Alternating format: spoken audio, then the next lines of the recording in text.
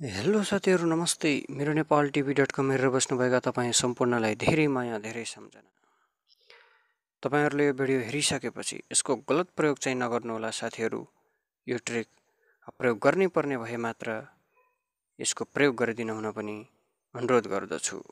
जस्तो तपाईँको नामको कसैले गलत फेसबुक आइडी बनाएर चलायो भने अथवा कसैले तपाईँको आइडी ह्याक गरेको खण्डमा यो ट्रिक प्रयोग गर्न सक्नुहुनेछ।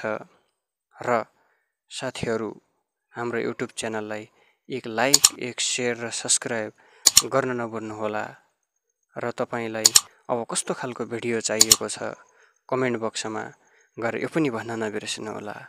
आउनुहोस् भिडियो सुरु गरौँ।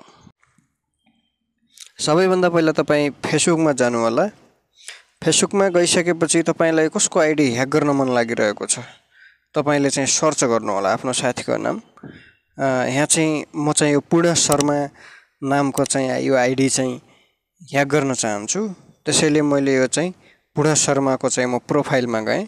तपाईँहरूले पनि कसको ह्याक गर्ने उसको प्रोफाइलमा जानु होला त्यहाँभन्दा पछि तपाईँले यता देखिराख्नु भएको छ थ्री डट। थ्री डटमा जानु होला तपाईँलाई यस्तो खालको इन्टरफेस खुल्छ। त्यहाँभन्दा पछि तपाईँलाई find supporter or reporter profile find support or report profile तपाईँ चाहिँ यसमा क्लिक गर्नु होला तपाईँले यहाँ गएर क्लिक गरेपछि तपाईँलाई यस्तो खालको इन्टरफेस खुल्छ। तपाईँले चाहिँ आई वान्ट टु हेल्पमा क्लिक गर्नु होला आई वान्ट टु हेल्प लेखेको छ।